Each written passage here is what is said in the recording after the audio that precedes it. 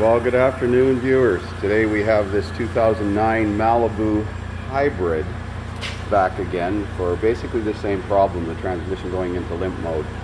I'll put a link in the description to the previous videos I did on this. Uh, turned out to be poor pin grip on the ignition feed wire to the TCM. Um, it's actually working fine again now, and I'm just updating the software on my scan tool.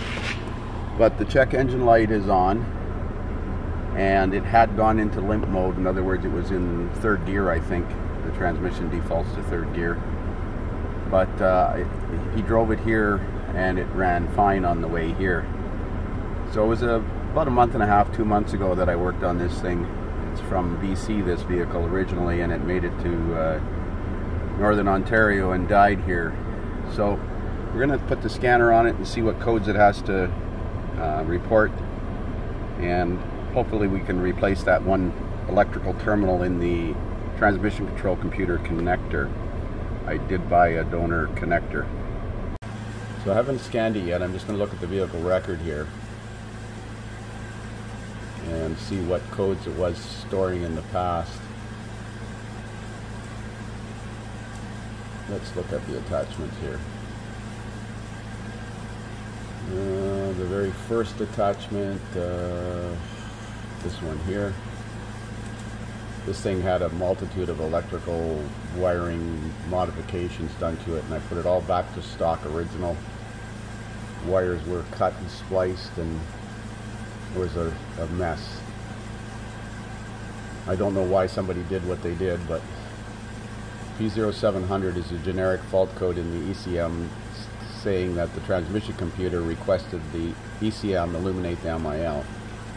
This is the code we had, a P0562 system voltage low and P2534 ignition 1 circuit low voltage. Those were the codes that were present due to that uh, that power feed wire, the ignition 1 voltage wire going into the TCM being poor pin grip. And I initially missed that. So we're going to scan it now. Unfortunately, being a GM, we can scan it with it running. T-on engine running, unlike some Chrysler products and import products. I just updated my scanner software, so hopefully there's no glitches in it now.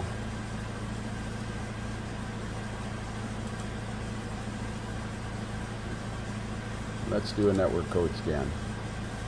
Pre-scan, post-scan, diagnostic health scan. Hmm, that's a new feature. Check available system for any potential issues. Well, let's do a pre-scan. I'll experiment with the enhanced features now that Snap-on's added with this 24 point or 22.4 software. Catalyst efficiency low. P0700.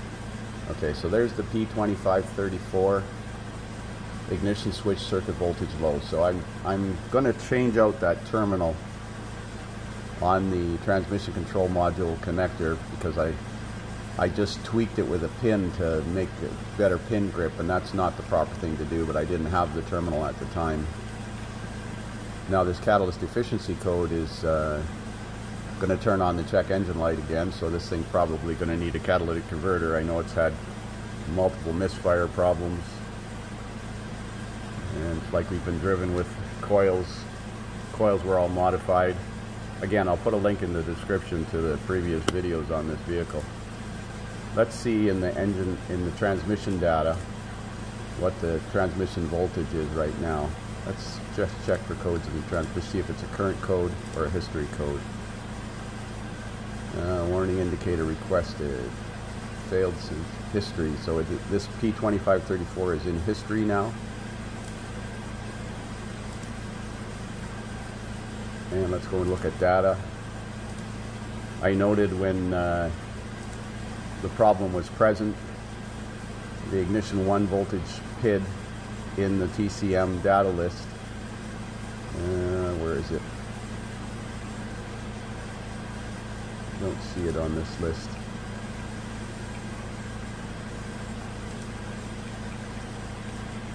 This one right here, ignition 1 voltage. Ignition voltage. It would be down around 0.5 volts So I'm going to open the hood and wiggle that connection and see if that'll drop out.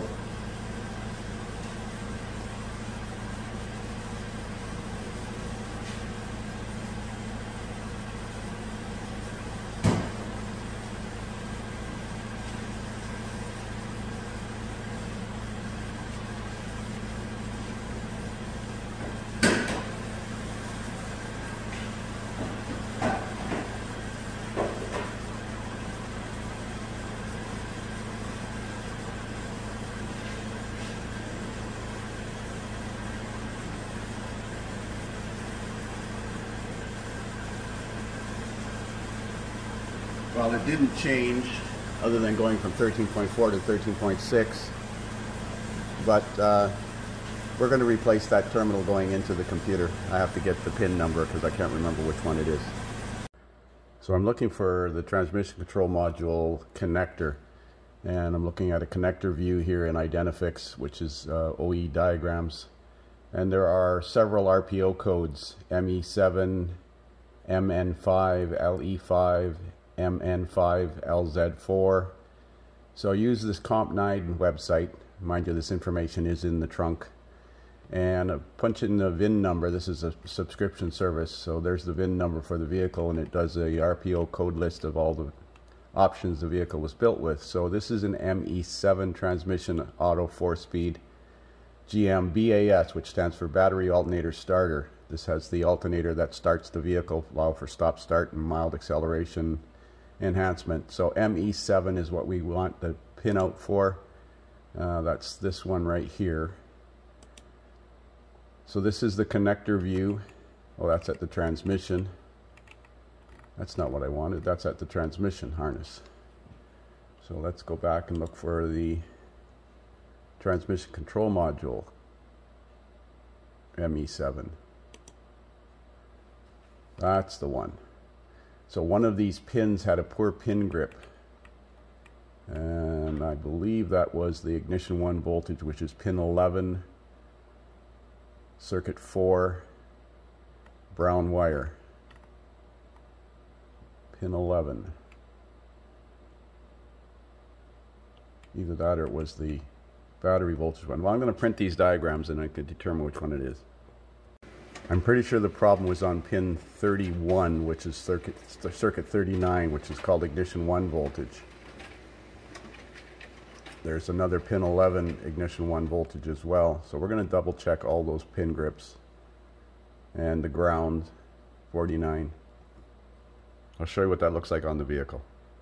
So the pins in question, looking into the face of the connector, are pin 31, which is ignition 1, which is pink, and pin 32, which is battery power and pin 11 which is another ignition voltage. Looking at this connector like this 31 is one of these two terminals on the third row from the bottom. Um, it was this connector is missing the plastic uh, cover. Where is it here? This cover is missing. I managed to save that from a this donor connector and I took this connector apart so that I've got some terminals. You can see that they're gold plated as well um, so now I got to figure out how to release these terminals from this connector so that I can go in and replace pin 31. So to depin these terminals, which are extremely tiny, there is a secondary lock right here that you slide out from the inside. And then you'll notice beside each terminal, there is a small little round hole so use a very tiny needle like I have to insert in there and then you can pull the wire out from the back. It's hard to do this with one hand. So the wire will pull out through the back of that. It's right next to the red and white one. So I'm going to reuse, I'm going to use this new wire which is not compromised put it in place of the pink one and then slide the lock back in place. So I tried pushing a connector wire through from the back because this one came out from the back but it wouldn't go so I managed to pull the wire from the front and hopefully this will pull in until it locks. There it locked and then slide this clip back over. The secondary lock.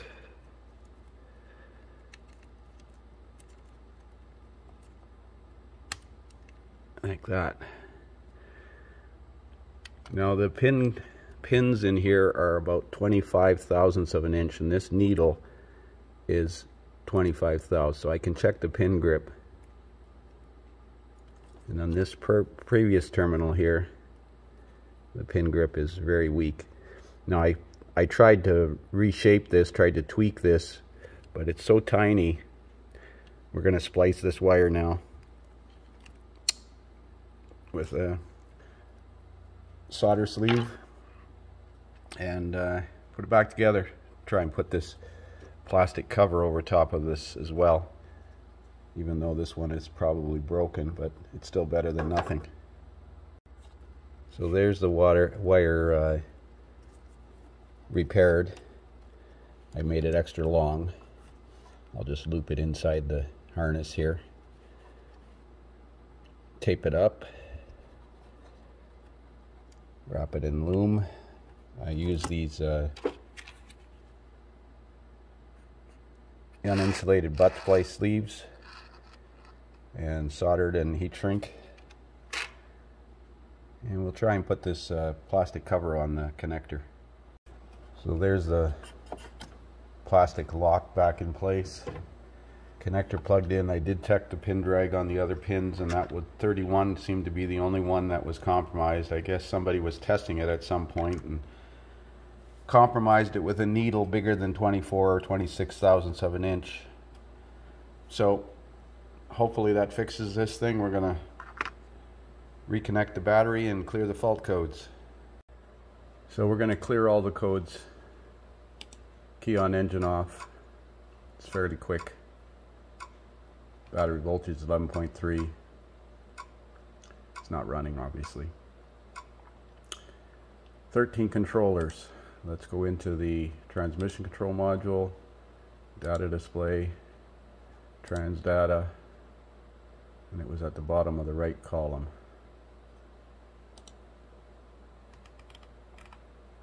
Eleven point five.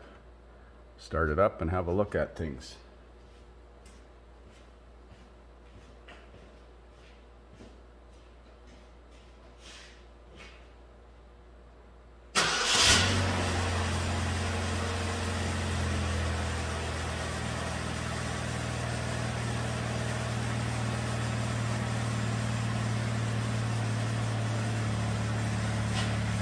Well, I'll take it for a road test. But I suspect it should be fine. I hope it's going to be good.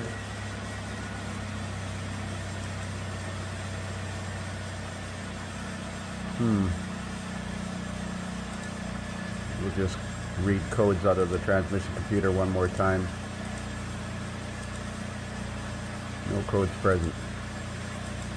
But it does have an underlying problem with the catalytic converter. Sure that that's going to be a problem. Sensor data, ignition data, fuel trim data. Let's try this one.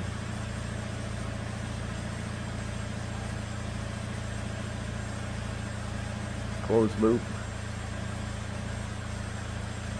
Sensor 2 millivolts.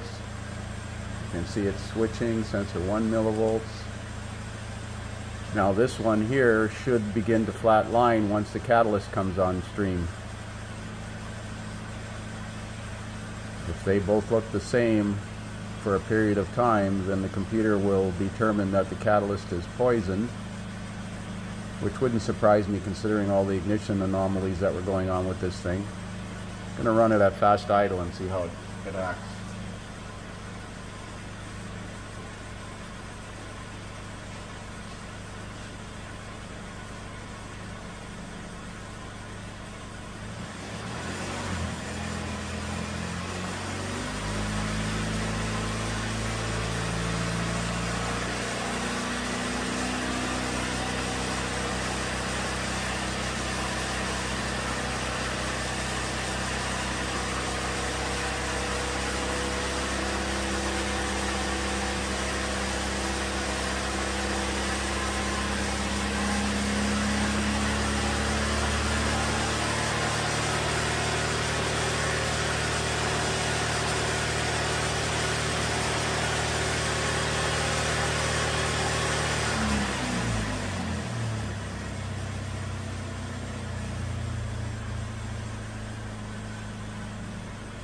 I suspect that catalyst is poisoned. You can see there's considerable activity on it even though it should be up to temperature by now because this one's right on the exhaust manifold.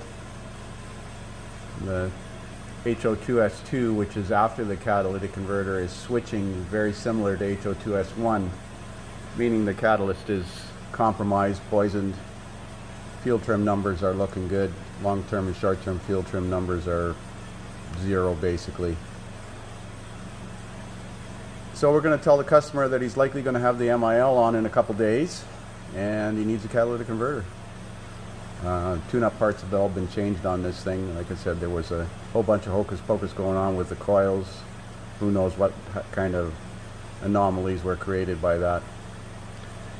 So that's it for now. Thanks for watching.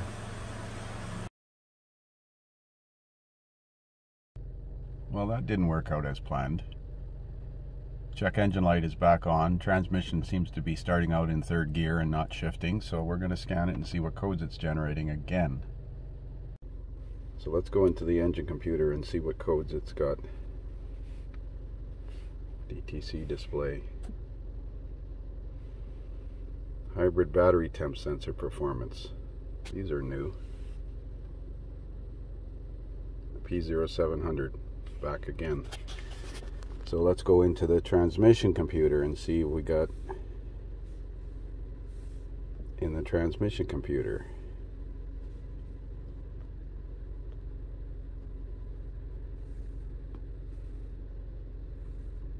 Codes menu, display codes, DTC display.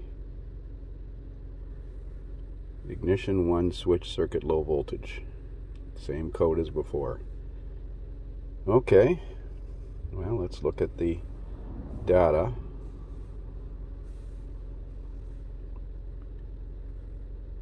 I was going to drive this into town and didn't get very far. Down at the bottom of this list here. Ignition 1 voltage, 1.4 volts, right there. Well, let's head back to the shop. So I'm back in the shop watching ignition ignition voltage on the transmission computer here and it's sitting at 1.5 volts. I'm going to go try and move the harness while, I, while it's running.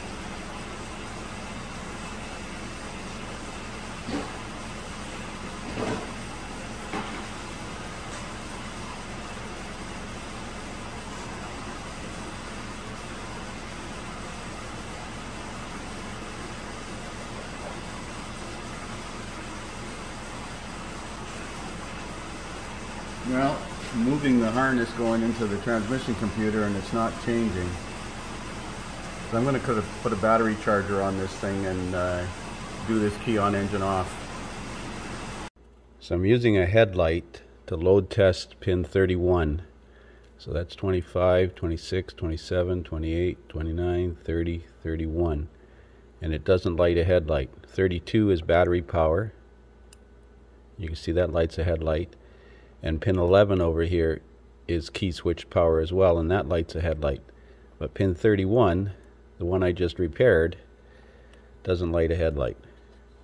Yet it did before. So maybe we had more than one problem. Let's figure out where that comes from. So circuit 39 comes from the run crank relay number 32 through a 10 amp transfuse and here's the pink wire that I replaced at terminal 31 at the transmission computer. It also feeds power to torque converter clutch solenoid, 1 2 shift solenoid, 2 3 shift solenoid, and 4 3 shift solenoid. And that's why it goes into limp mode because we lose total power. It defaults to third gear. Uh, this is an ME7. So there's no connectors in between. So the first we're going to do is find transfuse number four and see if it'll light a headlight on that fuse. Okay so fuse number four is this one right here. I've got the headlight connected to pin 3 look at that. I'm touching the fuse. You can see the headlight. All I'm doing is touching the fuse unfrickin' believable. This car has been so messed up with electrical gremlins.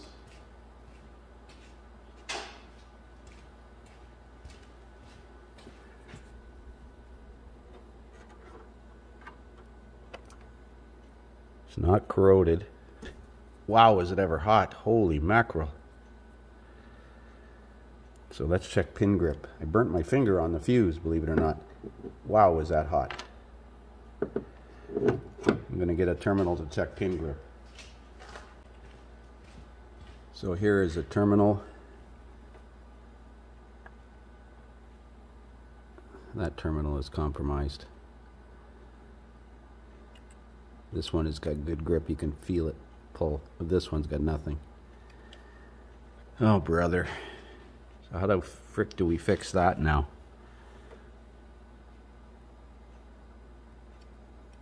Wow. That fuse is actually super hot to the touch because of that bad connection there. Oh my goodness sakes. Suppose we could buy, buy a new fuse panel, but the terminals inside there are compromised. Hmm. So I got the borescope out here looking at this and you can see how the terminal is melted. Ay, ay, ay, ay, ay. Suppose I could take this fuse panel out and take it apart.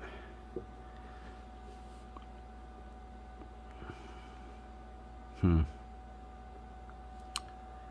That's the terminal right there you can see in the middle of the screen.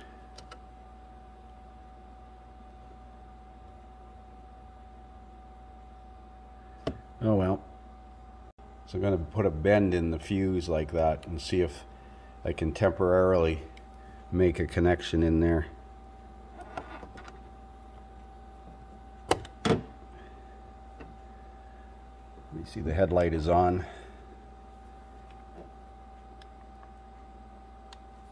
And it's not blinking, flickering.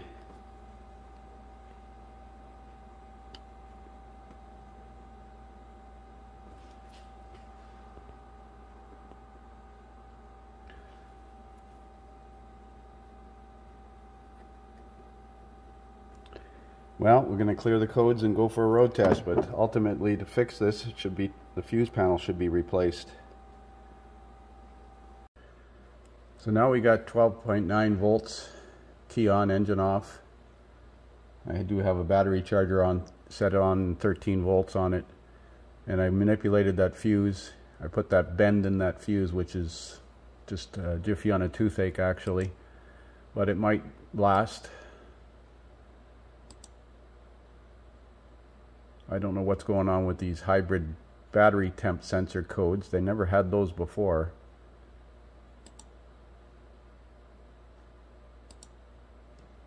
Let's clear all the codes and see what comes back. I don't recall having those hybrid battery temp sensor codes before. Engine, codes menu, display codes. DTC display, no codes present.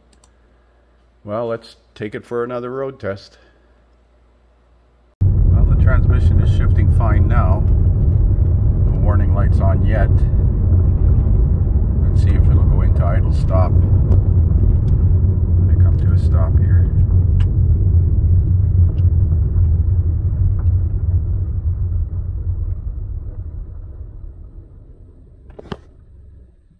Yeah.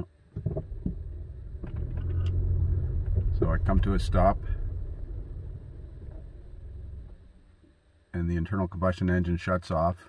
Take my foot off the brake and the alternator starts the engine. And there's a mild assist from that 8 kilowatt battery pack.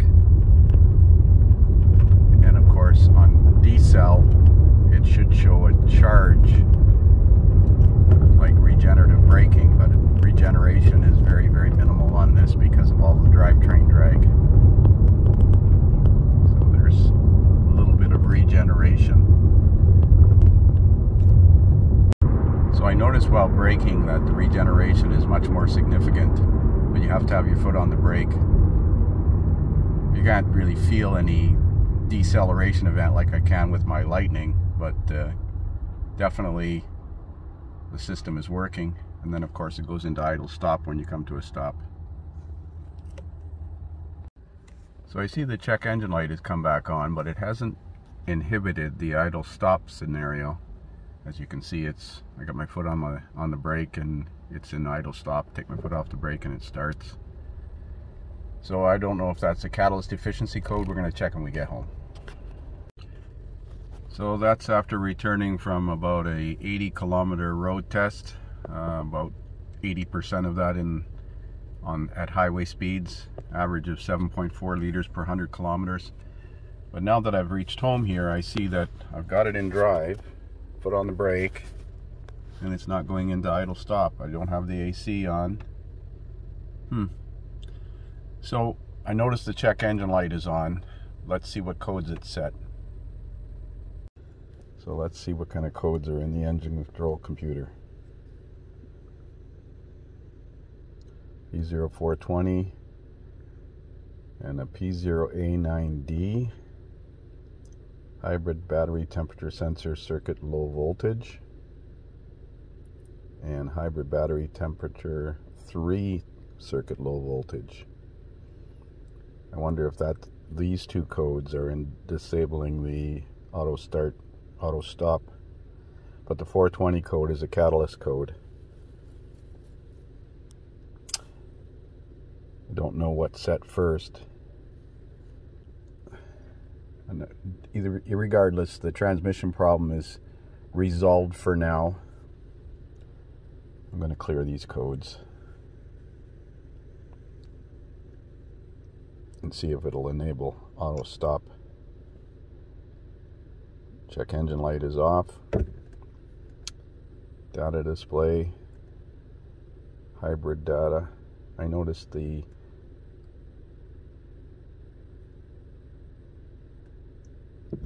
Let's put it in drive and see if it'll go into auto stop.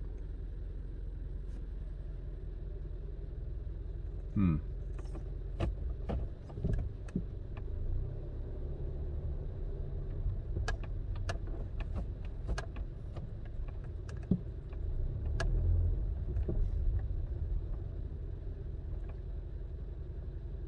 No. I wonder if it's reset a code already reset the 420 code that quickly.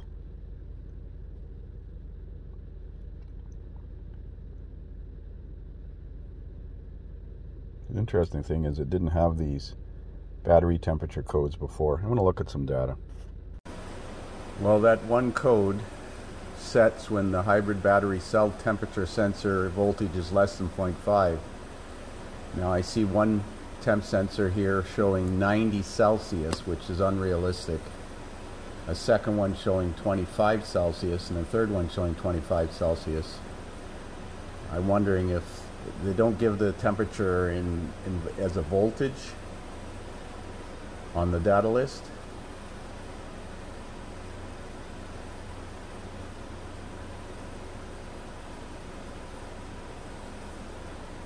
It doesn't give you any uh, reason for not allowing the auto stop engine auto start reason. Desired hybrid engine runtime. I haven't shut it off from the drive cycle so it's been running for almost an hour and a half.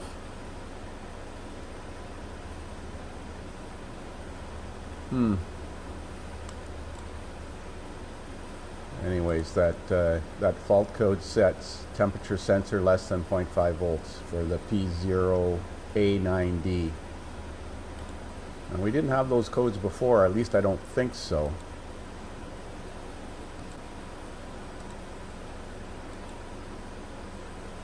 If I look in my history here,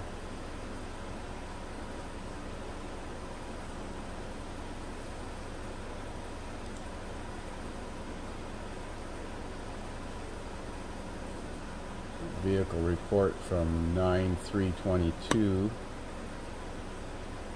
This is the first report.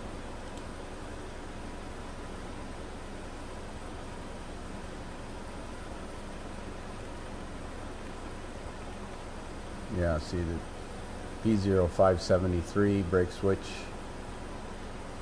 circuit high voltage P0700, and that's basically it.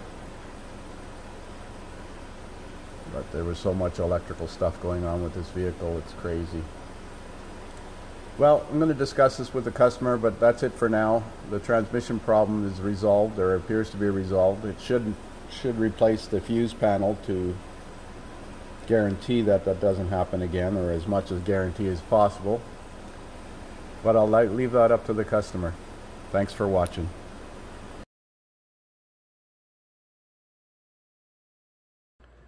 Well, I was just doing a little bit of research and I found a recall that might apply to this vehicle on the hybrid battery.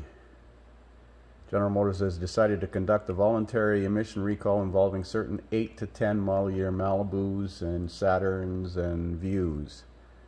And the VIN breakpoint for the 09 Malibu is uh, 100,026 to 256,831 and this one's right in the middle of that. Now I tried to call the GM dealer to see if this recall was still outstanding and they closed for the day, unfortunately, and being Friday, I won't be able to find out until Monday. But I'm not going to do anything with this in case there's a uh, standing recall on it to replace the high voltage battery. Hmm. Uh, there are three temp sensors in the battery, one for each cell in the battery. And one of those is, uh, well, it says if two, two sensors fail, and I guess the batteries have a tendency to leak. They didn't really specify here. Uh, and if the batteries leak, it would affect potentially the temp sensors. So talking about cleaning up with baking soda and water, new, uh, new, uh, battery acid neutralizer. But anyways, just uh, another little tidbit of information might help somebody. So I can't leave this thing alone. I was playing with the Think tool and I noticed that if I went into the battery energy control module, I'm back on the Snap-on scanner now, I could see six temp sensors as a voltage and in degrees. And temp sensor 1 and 3 were less than 0.5 volts. Yeah, 2.6, 2.5 volts. 90 Celsius, 90 Celsius, that's not realistic. Uh, hybrid battery voltage.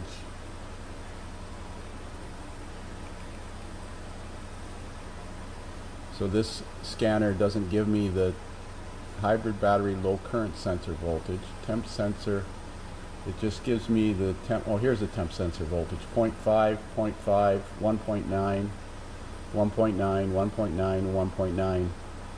So these two, battery temp sensor 1 and 3, have reached the criteria for setting a code. So again, I'm going to find out if there's a standing outstanding recall on this battery or not. My understanding is the batteries have a tendency to leak and of course there are six temp sensors in there, two for each cell of the battery uh, and I guess they could get compromised if they got acid in them. So you can see these two are out of range and these two are showing defaulting at 90 degrees Celsius. So that's it for now. I promise.